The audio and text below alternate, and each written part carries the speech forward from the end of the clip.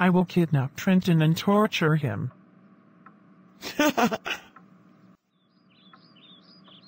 Don't even try. You know that's illegal. That's it. You're grounded for one year, and while you're grounded you'll be eating nothing but lumpy potatoes for every meal. Now go to your room right now.